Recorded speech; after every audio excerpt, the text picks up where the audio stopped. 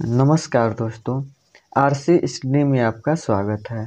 आज हम लोग अध्ययन करेंगे फ्लेमिंग के बाएँ हाथ का नियम। इस नियम के अनुसार, यदि बाएँ हाथ के अंगूठे तथा उसके पास वाली दोनों अंगुलियों को इस प्रकार फैलाया जाए कि तीनों एक दूसरे के लंबवत रहें, तब इस स्थिति में यदि प्रथम अंगुली चुंबकीय क्षेत्र की दिशा को तथा बीच वाली अंगुली प्रवाहित धारा की दिशा को प्रदर्शित करें तो अंगूठा चालक पर लगने वाला बल की दिशा को प्रदर्शित करेगा।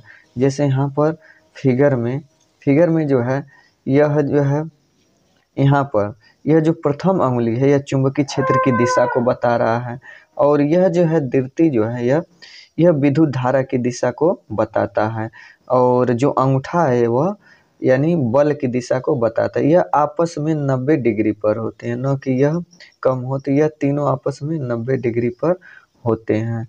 एक दूसरे से 90 डिग्री पर होना चाहिए। तो यह जो है, फ्लेमिंग का बाएँ हाथ का नियम इसका फिगर है यह।